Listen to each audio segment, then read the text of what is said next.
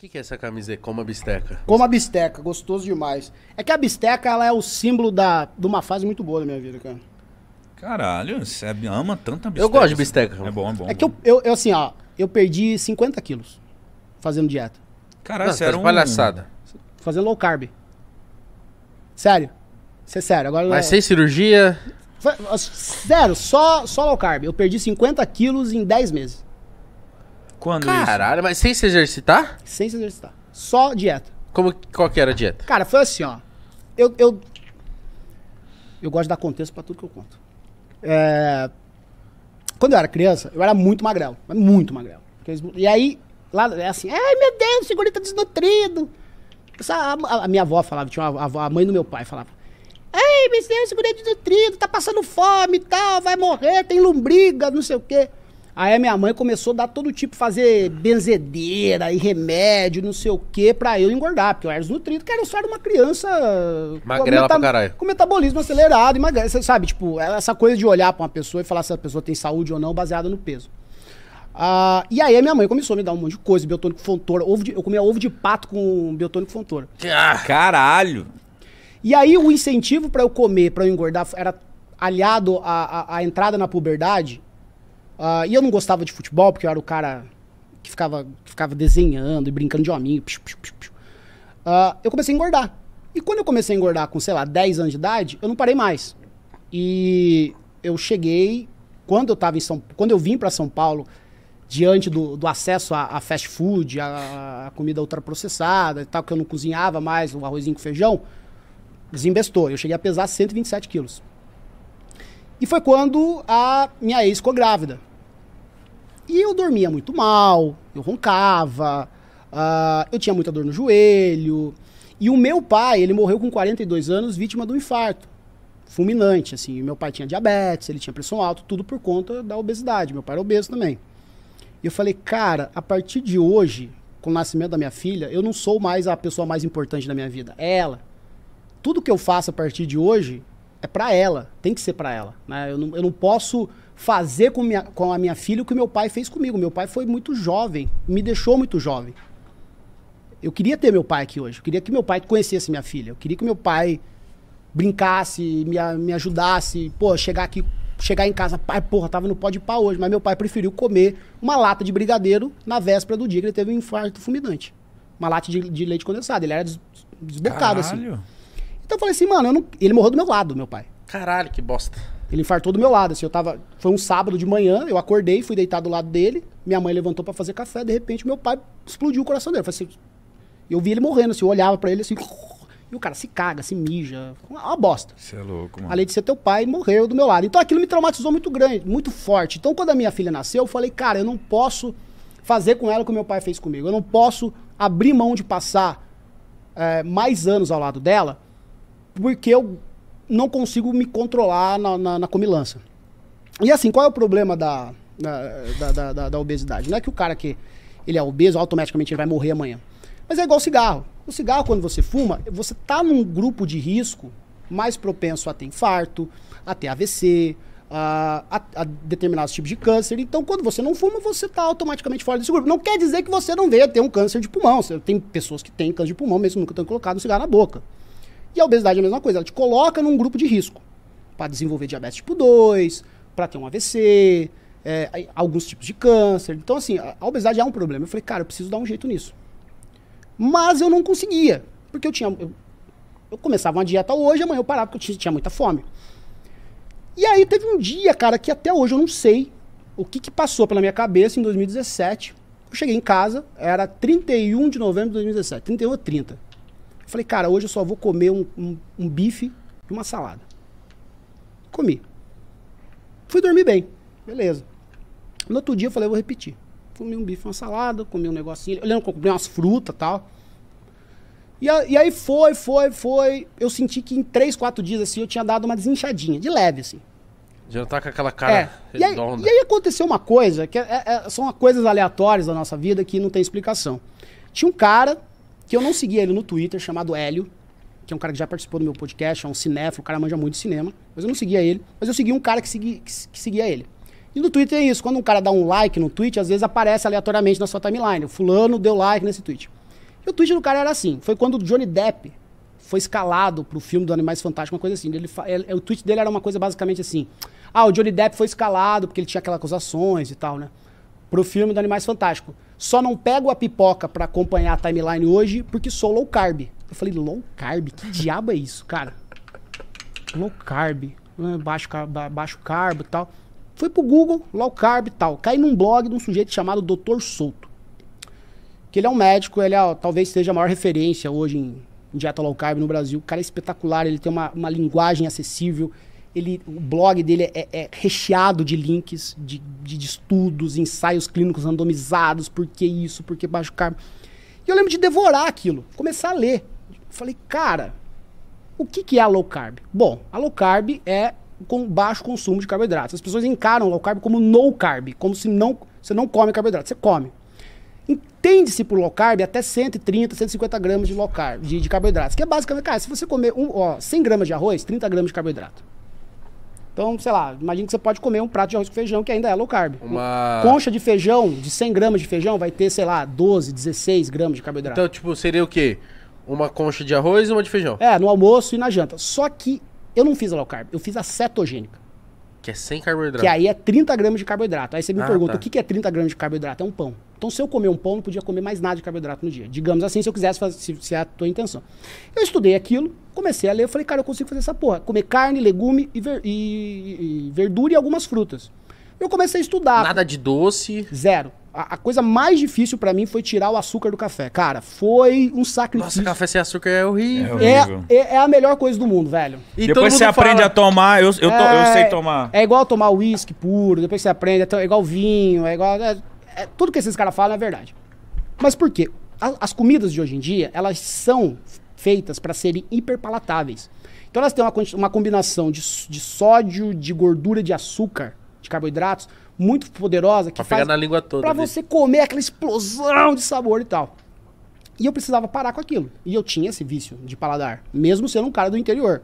E aí eu falei, cara, eu consigo fazer isso. É carne, ovos, legumes, verduras. E aí o que, que eu não comia? Eu parei um pouco com arroz e feijão, que é a minha comida favorita. Eu também. Nossa, parar com isso Mas é assim, difícil, é- hein, é- mano? e aí assim, tem gente que não gosta da low carb, que fala, ah, o cara é low carb não come arroz com feijão. Cara, ninguém no Brasil hoje tá, fica obeso porque tá comendo muito arroz com feijão e comendo muita fruta. A gente sabe que não é isso. Mas eu, eu precisava parar, porque eu ia fazer a cetogênica. Certo. Ah, e aí eu cortei arroz, feijão, massas, bebida alcoólica. Nossa. é, cortei açúcar no café, foi difícil, bebendo café com A bebida engorda muito também, né? Pô, cerveja, cara. Os destilados, eles têm. Não tem carboidrato, assim, um uísque. Mas ele. quer cara, mais? Eu quero. Eu ia, eu ia pegar pra ele. Eu ia... Mas- Deixa aqui na mesa, deixa aqui É, na mesa. deixa- na mesa Mas, mas assim, cara, é é álcool, é uma parada tóxica, é uma bosta. A gente tem que beber sabendo que, que se trata de uma agressão pro nosso organismo também. Álcool não é, sabe? é- Então, eu não bebo, por exemplo, a gente. O mítico já sim, o mítico bebe todo dia. Eu não bebo todo dia, tá ligado? Mas é uma coisa que eu gosto. É, eu, go- é, é um mal, é um mal pro meu corpo, Eu mas sei. é um prazer que eu me dou o direito de ter. Pô, veio o, Jong aqui. Eu queria tomar uma com o cara e foda-se. Aham, Se, foda-se, se eu né? tivesse nessa dieta, eu ia falar assim: foda-se. É, não, foda, mas dá, entendeu? O, o problema não é a exceção, o problema é o padrão. É isso que precisou. ah, Caralho. É, opa, obrigado. Deus te abençoe. É isso que, que eu precisei mudar, assim. é, não transformar a, a exceção no padrão. Cara, pô, você tá. você- eu cresci no interior. Mano, tem uma, uma Coca-Cola no almoço. Era um evento. Era domingo, né? E olhe lá. A gente não tomava Coca-Cola. A gente não tomava. A gente não comia é, Danoninho todo dia. Cara, era, era um evento. O que, que era a nossa alimentação no interior? Cara, arroz, feijão, carne, salada, ovo, queijo, leite. Cara, essas coisas não foi, não foi isso que me levou a, a, a 127 quilos. Foi a, a bobajada. Muita cerveja e tal. Mas enfim, eu tive que restringir esses alimentos por um certo período porque eu queria perder peso. A minha intenção era perder peso.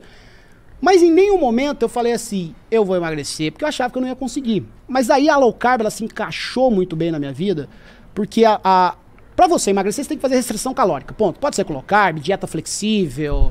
Aliás, o pessoal da dieta flexível, eles criam um antagonismo meio, meio bobinho, assim, com a low carb. É, não faça low carb, faça dieta flexível. Sabe, cara, sabe, pode fazer assim, para emagrecer, restrição calórica, né? Ah, agora, como você chega na restrição calórica? Como que um cara da- do meu tamanho, de 127 quilos, comia, sei lá, 3 mil calorias por dia, vou restringir pra mil sem morrer de fome, ficar estressado, ficar maluco? E aí que pra mim a low carb ela teve, ela se encaixou na minha vida. Porque você, você reduz o carboidrato, você, eu, eu aumentei um pouco a proteína, comecei, passei a comer muito legume. Mano, abobrinha, chuchu, couve, alface, tomate, couve-flor, Cenoura. Até que cenoura o pessoal da low carb não é muito fã porque ela é raiz. Então mandioca, cenoura, batata, essas coisas eles não comem. Cereais, é, leguminosas, essas coisas eles não colocam. Eles são, mas eu, eu comia. E aí eu, eu, tinha. a- a- a- o grande pulo da low carb pra mim foi a saciedade. Porque eu não ficava com fome o tempo inteiro. Porque você não come muito carboidrato, você não tem aquele pico de insulina. Você sabe aquele sono depois do almoço? Você come um monte de carboidrato. E você se nutre mais, né, É. também. É, é, você tá comendo, sabe, né? Você tá comendo carne, você tá comendo legumes. Quem que vai falar que legume vegetal é, é tipo ruim? assim, ao invés de você comer um, um bife de filé de frango, você comia dois. Na verdade, a, su- a substituição é assim. Em vez de eu comer um bife, um ovo, arroz e feijão, eu comia um bife, um ovo e legumes. Tá. Refogados, que eu fazia. Tal. Primeiro mês eu perdi 17 quilos. Mano. Mano, é muito. Eu perdi 17 quilos. Primeiro mês eu perdi 17 quilos. Então, assim, foi uma transformação absurda na, na- na minha aparência, assim. Eu cheguei, eu saí dos cento... e- Aí, quando eu entrei de fato na low carb, eu saí dos 123 quilos em dezembro. Em outubro...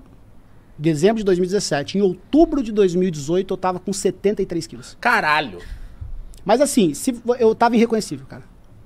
Mas você ficou mais bonitão, vamos dizer. Como que, como que foi na sua cabeça? Porque é uma mudança do É, caralho. é difícil, é difícil você processar, leva tempo, Ah, leva muito Às vezes que eu desisti era por conta de estresse mesmo. É estresse, caralho. Leva Você fica com tempo. fome, você fica Leva- estressado, mano. Então, a low carb não tem essa. Então- Você tá com fome, come. Eu tava com fome, o que eu fazia? Eu, eu trabalhava no, no, no Não Salvo.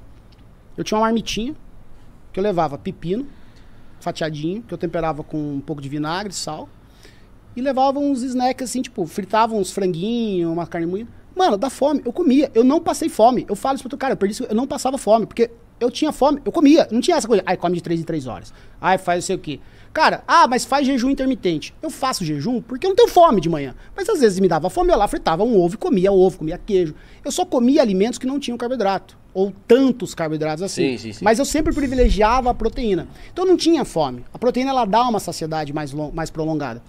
Uh, cara, e na época, falar de low carb, hoje ainda é um. Você fala de low carb, já, daqui a pouco vem um monte de gente. Ah, Foda-se, eu perdi 50 quilos. Uh, ah, mas a, hoje já há um, uma, uma maior, um maior número de nutricionistas, de médicos. Que, que trabalham a low carb com seus pacientes, né? Eu, eu, eu, não, eu não aconselho ninguém fazer o que eu fiz, porque eu fiz, eu fiz sozinho. Eu fiquei estudando. No Natal, Natal de 2017, 10 horas da noite. Eu tava lendo um ensaio clínico randomizado da low carb para diabetes tipo 2, no trato para quem tem diabetes, para baixar a insulina e comendo pernil com, com, com chuchu.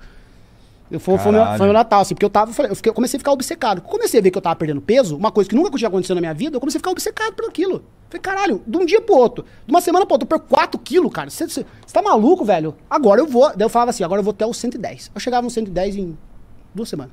Falei, agora eu vou até o 100 pra ver como é, como é que será que eu, eu 100 quilos? Chegava no 100. Falei, vou fazer mais um mês. Aí eu chegava nos 80. E até chegou 73 quilos, Cara, cara. se eu perder 50 quilos, eu vou ficar só com 200. Mano, eu fiquei Verdade, verdade. eu fiquei o, o, o pó da gaita, assim. Fiquei. Quando eu voltei pra minha cidade do interior, eu voltei. em- No ano de 2018, eu voltei em três ocasiões. Eu fui. Eu, eu tava no interior, né, era dezembro. 2018. Eu tava com 120, já tinha perdido uns dois quilinhos ali, eu tava com 120. Voltei na segunda vez, eu tava com 90. Voltei na, na terceira vez, eu já tava com 73 quilos. A galera falou, mano, você tá doente. Você tá fumando crack, sei lá o que você tá fazendo. São Paulo faz mal pra você, menino. Não, porque eu sequei, mas você imagina, cara, você consegue, assim, é 10 meses sem academia, sem. Mas fica com a aparência meio cansada, não fica? Meio, meio caidinho? Cara, é porque você, não- você- não retém líquido, então você não- tem aquela vistosidade. Isso. Tem, um, tem, tem, tem uma série pra falar que, pô, perder 50 quilos, tu não vai. Pô, é muito peso, pô. 50 quilos é muito É peso. uma tá ligado? pessoinha. Aí, só que o que acontece? Quando eu cheguei nos 73 quilos, eu me olhava no espelho e falei, cara, também não tô me achando. Não, tô me, não, não é que eu não tô me achando bonito, eu não me sentia confortável. Que eu falo assim, não é, não é o peso ideal. Essa coisa do médio MC. Cara, esse negócio isso é bobagem. É o peso que você se sente confortável. Você se sente confortável com tantos quilos, com tantos quilos? E hoje o peso que eu me sinto confortável é desse aqui, ó. Eu tô Você tá pesando quanto? 89, 80. Eu flutuo É, o, o lance é tá saudável mesmo, tá ligado? Só que assim, eu sou. Apesar de eu Mas estar. pra gente tá assim, a gente não tá saudável, né, pai? Não, eu, eu gosto do gordo que fala assim: Não, eu fui no hospital, tá. Não, todo, Tá todo obeso É, pode é- ter certeza que ele tá todo zoado. É, isso é, é complicado, cara. É muito. É, é, é, é difícil, é um tabu começar hoje. o falar sobre carb. isso. Comi 18 pão de queijo. Cara, quando. Foi mesmo, eu cheguei aqui e É, tava não precisa com ser, mano. Eu não- assim, eu já fui muito. Quando. ca- Cara, sabe o maluco quando ele. Ele vira ateu, ele se descobre ateu, que ele fa- passa a falar que Deus não existe pra todo mundo? Aham, chato. Quando eu, eu, eu perdi 30 quilos, eu achava que a low carb era Salvação do a salvação do mundo. Eu só falava disso. Eu, eu fiquei monotemático, não tinha outro assunto. Porque. Sabe que. É fascinante, pô. E a galera me odiava, assim. Tem muita gente, tem muito amigo que, que, sei lá, me deu um follow no Twitter, porque não suportava. Mas se foda-se também. Mas é que eu tava, tava feliz, cara. Eu tava feliz. As pessoas tá- às vezes nem não entendem isso que você tá. Na verdade, não é que. Ah, o cara, o cara emagrece, ele vira um ex-gordo chato. Não, porra, o cara tá feliz, velho. É que nem o cara que começou, que era magrelo, começou a malhar e começou a ficar fortinho, mano. É o É. Júlio, ó o Júlio. Tá ficando O Júlio fortinho. tá cheio o Júlio de tá Fortinho, mostrando o assim, sovaco. Eu, quando eu, eu, eu, pô, eu passei por um processo, eu perdi 17 quilos. Eu comecei a ficar fortinho. Acho, já comecei também. Ah, pô, Já o estufou o ligado? peito. É, já, porra, tô ficando forte, Não, o cara tá caralho. feliz, pô. O cara tá feliz, então eu tava feliz. Eu falava daquilo que me fazia feliz. E aí é uma coisa minha que eu fico obcecado pelas coisas que me fazem bem, que eu fico feliz, eu fico repetindo isso o tempo inteiro. E eu ficava falando, claro, aí a galera não incomodava, eu discutia muito, até que eu fiz uma promessa. É tipo assim, não falo mais low carb em, em, em- no, em público, assim. De vez em. Você errou agora. É, errei agora, mas pô, aqui hoje, hoje vale. Porque- Não, mas é muito da hora vai, ele vai ter falar gente isso, xingando, daí vem- vem- aí vem um coach, vai, pô, de low carb, é o cara aí, ó, bó, já, te- já tá uma gordolinha, pô, já faz, vai, vai, vai pro quarto ano já, cara. Eu fui obeso a vida inteira. Mano, mas é muito foda você tá falando isso, porque agora com certeza tem muita gente que tá obesa Eu e tipo, mesmo. tá perdido, não sabe Cara, como que faz pra emagrecer, porque já tentou de tudo, academia, Não, a saber o que se- faz, sabe. parar de comer. Saber o que faz, tem que fazer, sabe. Mas Não é, sabe, cara. Mas é Tem gente que não sabe, sabe, mano, sabe vai pra academia e não consegue Porque ir pra academia. a- a- a- o que, que é a dieta? A dieta é o padrão teu alimentar, é o que você come no dia a dia. Isso é uma dieta. A, a palavra dieta, ela ganhou uma conotação negativa ah, por conta da indústria da beleza, da indústria da, da- da- da, sabe, da moda, de fa faça dieta da lua, faça dieta do caralho. Então isso vai criando uma... Deixa a ciência de lado, você tira os, os, os profissionais, os bons profissionais, né, eh, de lado e fica criando conotações negativas na palavra dieta. Mas dieta é simplesmente aquilo que você come no dia a dia, sabe? O termo é reeducação alimentar, sabe? Comer comida de verdade. Então hoje você não consegue. Vai almoçar, comer um pratá. Eu ó, eu vou Você falar. acostumou a comer O que eu comi hoje, o que eu comi hoje antes de vir pra cá?